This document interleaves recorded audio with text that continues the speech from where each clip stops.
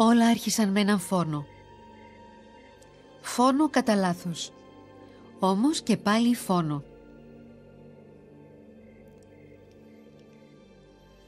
Ο ήλιος βουτούσε κάτω από τη γραμμή του ορίζοντα. Ο υπόνος τέντωσε το τόξο του. Δεν υπήρχε αμφιβολία. Σίγουρα ήταν το αρσενικό ελάφι που αυτός και ο αδελφός του ο Βέλερος κυνηγούσαν εδώ και δύο μέρες. Ο υπόνος κράτησε την ανάσα του. Το βέλος πέταξε. Αμέσως ακούστηκε μια κραυγή. Όμως δεν ήταν κραυγή ζώου. Ήταν ανθρώπινο ουρλιαχτό. Λίγα βήματα μακριά από τον υπόνο κατέρευσε μια μορφή με το πρόσωπο στο χώμα. Όχι ελάφι, άνθρωπος. Ο υπόνος έσκυψε πάνω από το σώμα και αμέσως αναγνώρισε τον αδελφό του, το Βέλερο. Μια έκφραση φρίκης απλώθηκε στο πρόσωπό του. Όλα είχαν χαθεί, διότι όποιος σκοτώνει τον αδελφό του δεν καταδικάζεται μόνο από τους συνανθρώπους του, μα τον καταριούνται και οι θεοί. Έτσι, δεν θα ονομαζόταν πλέον υπόνος. Στο εξής θα ήταν ο Βελερεφόντης που σημαίνει ο φωνιάς του Βέλερου.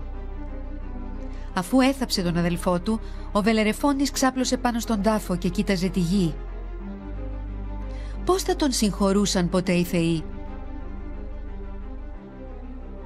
Κυρίως αφού στον Όλυμπο κάποιοι θα έλεγαν ότι το έγκλημα αυτό θα συνέβαινε αργά ή γρήγορα. Ποιος ήταν ο Βελερεφόντης; Ήταν στην πραγματικότητα εγγονός ενός θνητού, ενός από τους μεγαλύτερους εγκληματίες όλων των εποχών, του Σύσυφου. Σύσυφος ο πονηρός, Σύσυφος ο ψεύτης. Για να τον τιμωρήσει για τα κόλπα και τα ψέματά του ο Δίας, τον καταδίκασε να σπρώχνει ένα τεράστιο βράχο προς την κορυφή ενός βουνού, από όπου θα έπεφτε πάλι πίσω αιώνια. Ο Βελερεφόντης ονειρευόταν περιπέτειες. Ονειρευόταν να γίνει σαν τους μεγαλύτερους ήρωες. Τώρα είχαν τελειώσει όλα. Θα τον εξόριζαν. Ο Βελερεφόντης έριξε μια τελευταία ματιά στα τείχη της Κορίνθου, της γενέθλιας πόλης του. Της πόλης όπου βασίλευε ο πατέρας του, ο Γλάφκος. Της πόλης όπου ήταν πρίγκιπας. Ήξερε ότι οι πύλες της θα ήταν πια παντοτινά κλειστές για αυτόν. Το έθιμο απαιτούσε ο Φωνιάς να εξορίζεται από την πόλη του, να εξαναγκάζεται σε περιπλάνηση, ώσπου να συμφωνήσει να τον δεχτεί κάποια άλλη πόλη και ώσπου ένας βασιλιάς να τον εξαγνίσει προσφέροντάς του φιλοξενία. Τότε ο Βελερεφόντης σκέφτηκε τον Πρίτο. Ο Πρίτος ήταν βασιλιάς της Τύρινθας, στον αργολικό κόλπο Ίσως ο Πρίτος φαινόταν αρκετά γενναιόδωρος ώστε να τον δεχτεί.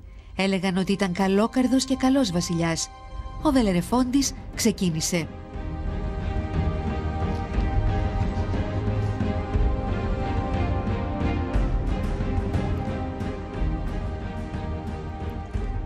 Συγκινημένος από τη διήγηση του Βελερεφόντη για την τραγωδία που έζησε, ο Πρίτος του πρόσφερε στέγη στο παλάτι του τον σύστησε σε όλη τη βασιλική αυλή. Και στη βασίλισσα Σθενέβια. Εν αγνία του ο Πρίτος είχε μόλις γράψει άθελά του την πρώτη πράξη μιας ακόμα μεγαλύτερης τραγωδίας.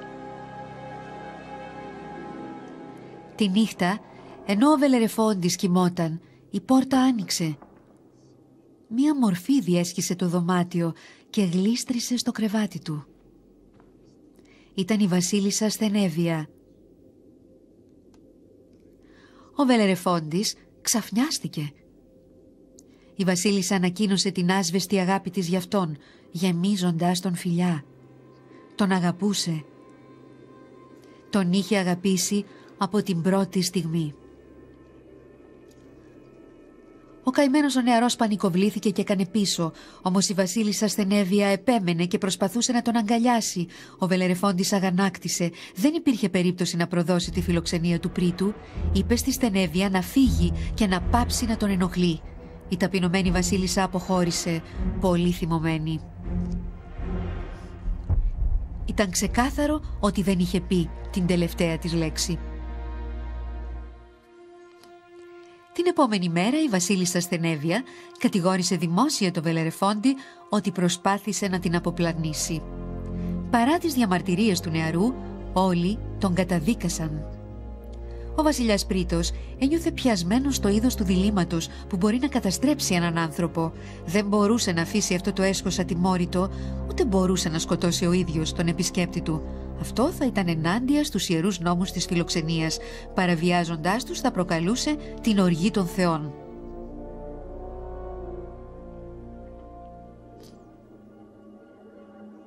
Και τότε είχε μια ιδέα. Ο Πρίτος ζήτησε από το Βελερεφόντι να πάει ένα μήνυμα στον πατριό του, τον Ιωβάτη, βασιλιά της Λυκίας. Ευγνώμων που τη γλίτωσε τόσο φτηνά, ο νεαρός δέχτηκε την αποστολή δεν ήξερε ότι είχε μόλις υπογράψει τη θανατική του καταδίκη. Όταν έφτασε στην αυλή του βασιλιά Ιωβάτη, ο Βελερεφόντης είχε θερμή υποδοχή. Οι πρώτες εννιά μέρες του εκεί ήταν γεμάτες γιορτές και φαγοπότια. Μόλις τη δέκατη μέρα αποφάσισε ο Ιωβάτης να ανοίξει το μήνυμα που είχε φέρει ο Βελερεφόντης. Αυτό που ανακάλυψε μέσα τον έκανε να παγώσει. Ο Πρίτος είχε γράψει «Παρακαλώ, κάνε να λείψει ο Φέρον από τον κόσμο. Επιχείρησε να βιάσει τη σύζυγό μου, την κόρη σου». Αλλά όπως και ο γαμπρός του ο Ιωβάτης ήταν απρόθυμος να τιμωρήσει το Βελερεφόντι. Δεν μπορεί κανείς να σκοτώσει επισκέπτη χωρίς να προσβάλλει τους θεούς. Έπρεπε όμως να βρεθεί κάποια λύση. Έτσι, πρότεινε στο Βελερεφόντι μία αποστολή να σκοτώσει ένα φοβερό τέρας που τρομοκρατούσε το βασίλειό του για πολλά χρόνια. Ένα τέρας γεννημένο από τους ερωτικούς εναγκαλισμούς των πιο σκληρών δαιμόνων της κόλασης.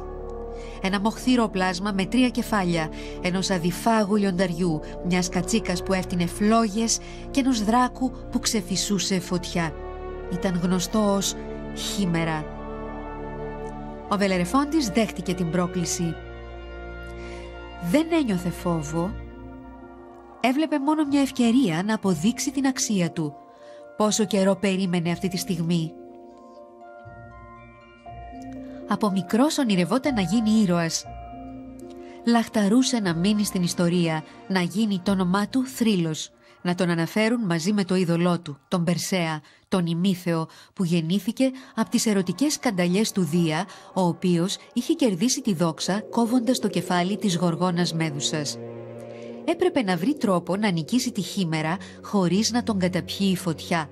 Αν επιχειρούσε επίθεση από πίσω, ήταν σχεδόν σίγουρο ότι θα τον σάρωνε η τεράστια ουρά της. Ο Βελερεφόντης αποφάσισε να συμβουλευτεί έναν μάντι του είπαν ότι ο μόνος τρόπος να νικήσει το τέρας ήταν από τον αέρα. Και για να γίνει αυτό, μόνο μία λύση υπήρχε. Να εχμαλωτήσει και να δαμάσει τον πίγασο. Το περίφημο φτερωτό άλογο. Το λευκό άτι που τόσο αγαπούσαν οι μουσες και όλοι έλεγαν ότι ήταν αδάμαστο. Ο πίγασος. Επιτέλους, ο Βελερεφόντης θα ακολουθούσε τα βήματα των ηρώων του, των γενναίων Περσέα, Ιάσονα, Ορφέα, Ηρακλή. Σύμφωνα με τον Μάντι, οι θύμες έλεγαν ότι ο Πίγασος ζούσε με τις μουσες στο όρος Ελικόνα.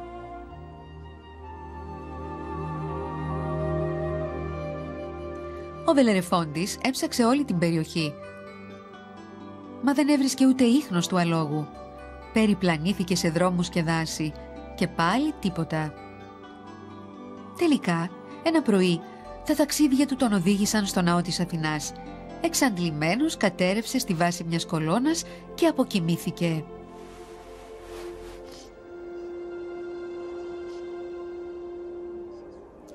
Συχνά, όταν οι θνητοί πέφτουν σε βαθύ ύπνο, οι θεοί έρχονται και τους μιλούν. Εδώ Η Αθηνά, η θεά της Σοφίας, ήρθε στο νεαρό άντρα. Και να τι του είπε. «Στα πόδια σου θα βρεις ένα δώρο. Με αυτό θα μπορέσεις να δαμάσεις τον θεϊκό πίγασο. Έπειτα από την νίκη σου πρέπει να ευχαριστήσεις τον Ποσειδώνα, τον πατέρα του πίγασου, χτίζοντας ένα ναό προς τιμήν του». Η θεά πρόσθεσε «Θα βρεις το φτερωτό άλογο στην πηγή της πυρήνης Εκεί του αρέσει να πίνει. Όταν ξύπνησε ο Βελερφόντης, βρήκε το δώρο αφημένο εκεί κοντά.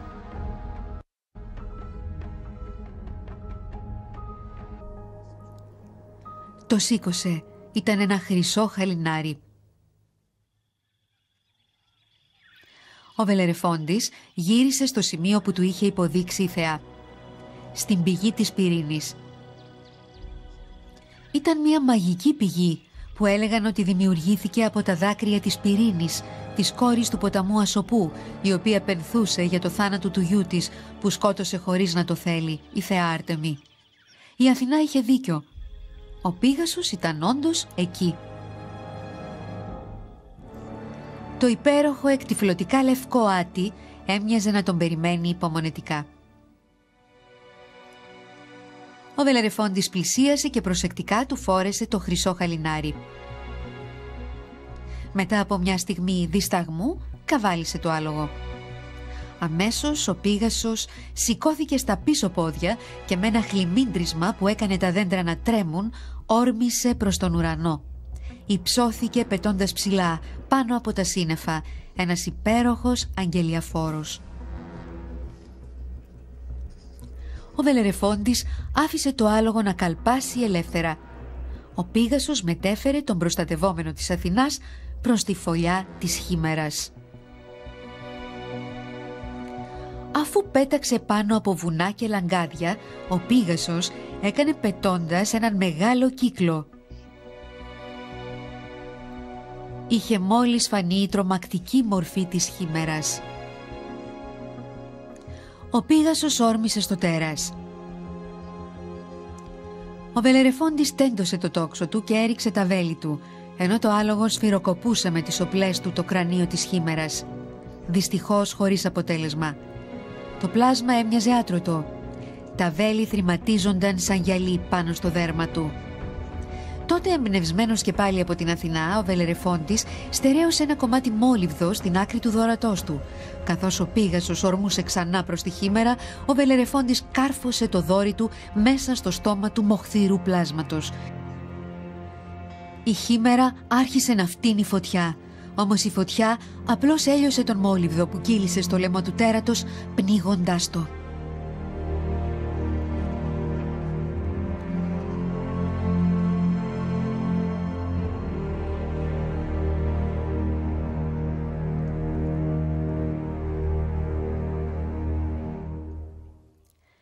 Η μάχη είχε τελειώσει.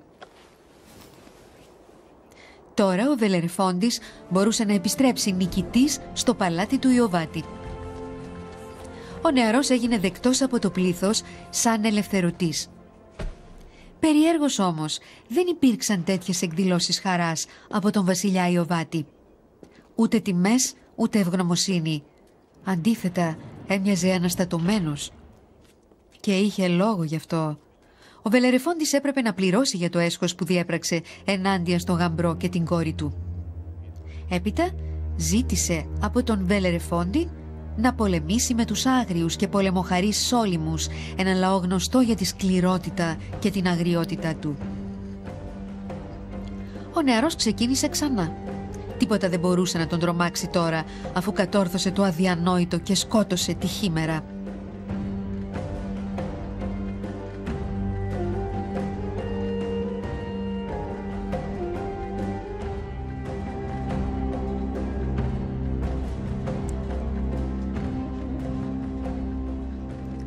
Και πάλι με τη βοήθεια του πιστού Πίγασου, ο Βελερεφόντης κατάφερε να νικήσει τους βαρβάρους. Αποσύρθηκε αφήνοντας πίσω του ένα πεδίο μάχης γεμάτο ερήπια, κατάσπαρτο από εκατοντάδες πτώματα.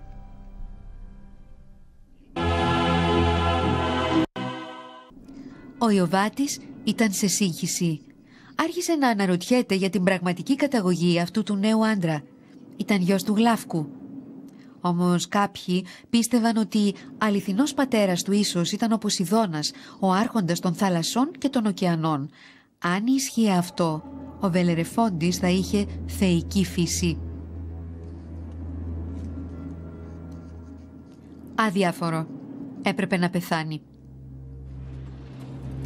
Ο Βελερεφόντης είχε μόλις επιστρέψει στο παλάτι όταν ο Ιωβάτης τον έστειλε να πολεμήσει τις Αμαζόνες. Οι Αμαζόνες ήταν φοβερές, πολεμοχαρείς γυναίκες που τρομοκρατούσαν τον πληθυσμό. Οι φήμες για αυτές οργίαζαν.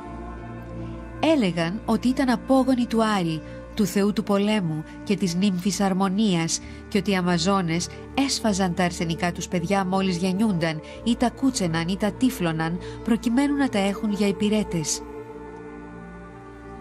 Έλεγαν επίσης ότι έκοβαν το δεξιό τους μαστό ώστε να τεντώνουν καλύτερα το τόξο και ήταν ουσιαστικά ανίκητες στη μάχη. Όλα αυτά δεν τρόμαζαν καθόλου το Βελερεφόντι. Καβάλα στον υπέροχο Πίγασο ξεκαθάρισε τις πολεμίστριες σχεδόν αμέσως.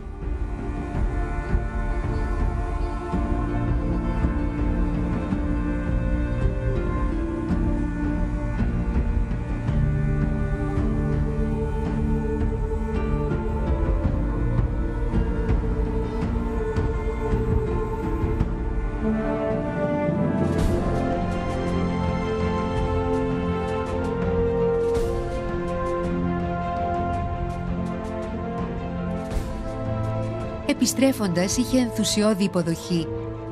Ο λαός της Λυκίας ήταν σε φρενίτιδα και τον υμνούσε. Όλοι εκτός από τον Ιωβάτη που συνέχιζε να είναι σκυθροπός. Όχι μόνο αρνήθηκε ο βασιλιάς να επενέσει τα κατορθώματά του, μα έστειλε και τους καλύτερους στρατιώτες του με την εντολή να τον συλλάβουν και να τον εξοντώσουν. Αυτό παρά ήταν ο Βελερεφόντης σκότωσε τους στρατιώτες του βασιλιά και έτρεξε στον Ιωβάτη, αποφασισμένος να πάρει μια απάντηση.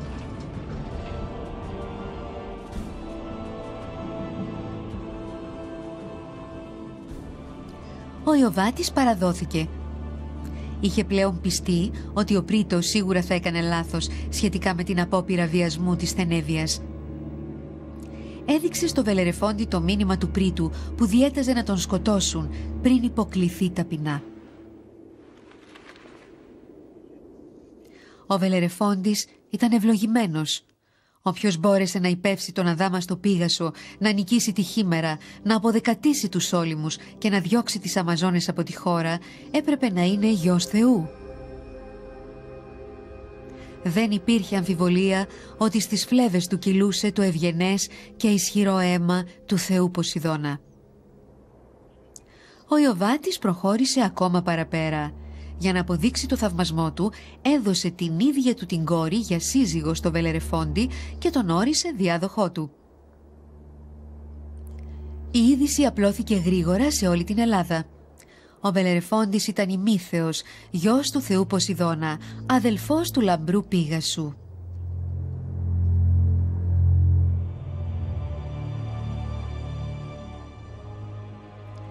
Ο Βελερεφόντης δεχόταν τις επιθυμίες με μεγάλη ικανοποίηση και εξίσου μεγάλη περηφάνεια. Η φιλοδοξία του είχε πραγματοποιηθεί επιτέλους και ήταν γεμάτος έπαρση. Όμως η άπιστη στενέβεια που τον είχε κατηγορήσει άδικα έπρεπε να τιμωρηθεί. Θα το φρόντιζε ο Πίγασος.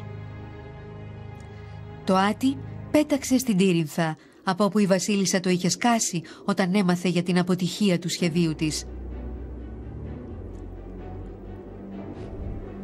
Μόλις νύχτωσε, έφυγε από το παλάτι. Ακριβώς τότε έφτασε ο Πίγασος. Προσφέρθηκε να πάρει τη στενέβεια στην πλάτη του. Η στενέβεια δέχτηκε την προσφορά. Ο Πίγασος τη μετέφερε προς τη θάλασσα. Όμως όταν ήταν πάνω από τα κύματα σηκώθηκε άγρια στα πίσω πόδια. Η πανικόβλητη βασίλισσα αρπάχτηκε απελπισμένα από τη χέτη του. Ο Πίγασος κλώτσισε, χλιμίντρισε και σηκώθηκε ξανά στα πίσω πόδια. Αυτή τη φορά η στενέβεια έπεσε και χάθηκε για πάντα.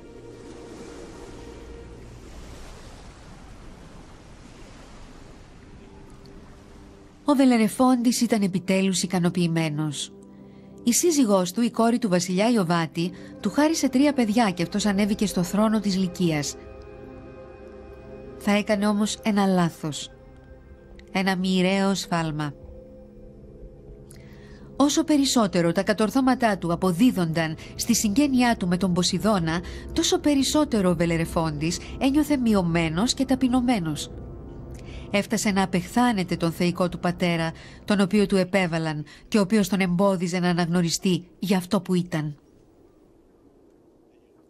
Εξάλλου, ο Βελερεφόντης δεν πίστευε λέξη από αυτές τις ανοησίες. Ο πατέρας του δεν ήταν ούτε υπήρξε ποτέ Θεός. Δεν ήταν περισσότερο γιος του Ποσειδώνα από όσο του Απόλλωνα ή του Δία. Ο πατέρας του ήταν ο Γλάφκος, ένας απλός θνητός και αυτός, ο Βελερεφόντης, χρωστούσε τις νίκες του μόνο στο δικό του μυαλό και θάρρος. Για να βεβαιωθεί ότι θα το μάθαιναν όλοι, διακήρυξε με κάθε σαφήνεια προς πάσα κατεύθυνση ότι οι θεοί δεν είχαν ανάμειξη στις υποθέσεις των ανθρώπων. Όλα αυτά ήταν απλώς κενές δυσιδαιμονίες. Οι θεοί δεν είχαν σχέση με το ένδοξο πεπρωμένο του. Αυτός, ο Βελερεφόντης, γιος ενός θνητού, ήταν δυνατός και γενναίος όσο κάθε θεός. Ιερείς προσπάθησαν να τον ηρεμήσουν, τον οικέτεψαν να ανακαλέσει τα βλάσφημα λόγια του. Αυτό έκανε έξαλλο το Βελερεφόντι. Αρπάζοντας ένα ρόπαλο, άρχισε να σπάει έναν έναν τους κύονες στο ναό του Ποσειδώνα. «Οι θεοί δεν είναι τίποτα», επαναλάμβανε. «Οι νίκες ήταν δικές μου και μόνο δικές μου. Ακούτε, μόνο δικές μου».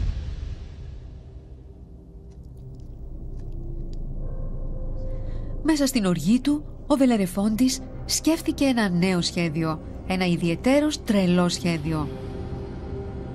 Αν τον τιμούσαν σαν Θεό, τότε η δικαιωματική του θέση ήταν μεταξύ των Θεών, στον Όλυμπο, με τους αθάνατους. Καβάλισε τον Πίγασο και όρμησε στον αέρα προς τον Όλυμπο. Θα ήταν το τελευταίο του ταξίδι. Οι θεοί αγαπούν τους ήρωες, αρκεί να δέχονται τους περιορισμούς των ανθρώπων.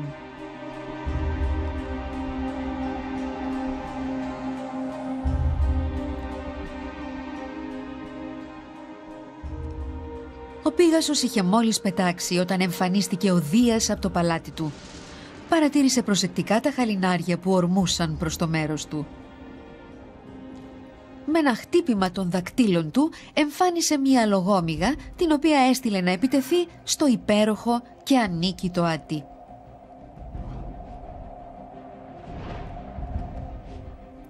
Ο πιστός Πίγασος, ενοχλημένος από την αλογόμηγα του Δία, όρμησε, στριφογύρισε και σηκώθηκε στα πίσω πόδια. Ο Βελερεφόντης έπεσε από την πλάτη του η πτώση έκοβε την ανάσα και η προσγείωση ήταν ολέθρια.